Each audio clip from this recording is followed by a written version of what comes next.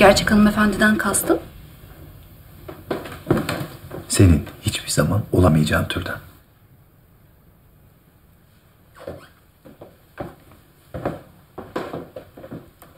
Kibarcıkmış. Kendini beğenmiş. Aptal. Erkek Fatma. Buyurun, buyurun. Kamran Şarkı Hanım'ı tanırsın. Nasılsınız? Mersi Kamrancığım. Umay Bey evladım.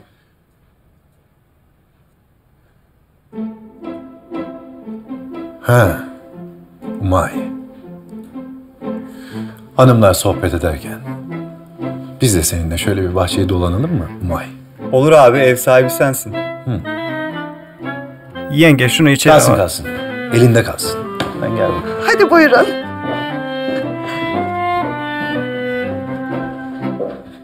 Gel bakalım. Umay'dı değil mi? Evet. Ha güzel. Siz hekimdiniz değil mi abi? Ha ben hekimim. Ha. Evet. Bak bana. Geç şuraya. Buraya neden geldiğini biliyorum. Kuzenin Feride'ye Allah'ın emri diyeceğiz.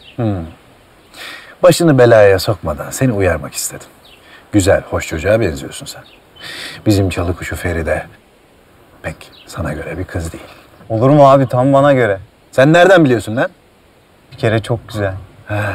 Tipe bak. Maymun. Çok delikanlı, ho- hoş, harbi bir mizacı var. Ben de seni o yüzden uyarmak istedim. Bizim Feride beyni döver. Döver. Daha önce ne nişanlı namzetlere döndüm sen biliyor musun? Ben sırf o yüzden hekim oldum. Ee, aferin sen espriden anlıyorsun ha.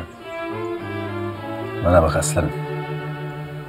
Feride'yi aklından çıkaracaksın. Yoksa elimden bir kaza çıkar. Kız beni seviyor. Abi bana müsaade. Sana da mutluluklar.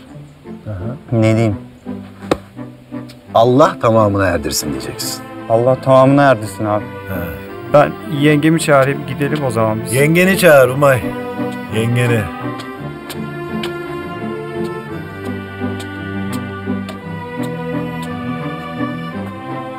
Yenge! Ne yani? Umay senin yüzünden mi vazgeçmişti? Bakıyorum da hala unutamamışsın. Tabii ki hayır. Peki ya diğerleri? Senin yüzünden mi kimse yaklaşamadı bana bugüne kadar? Vallahi bilemeyeceğim.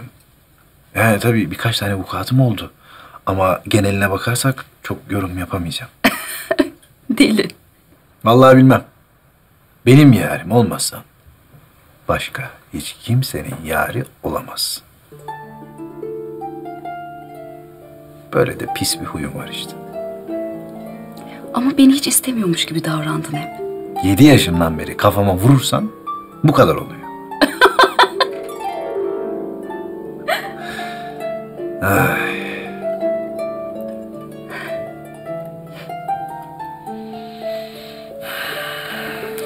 unuttum.''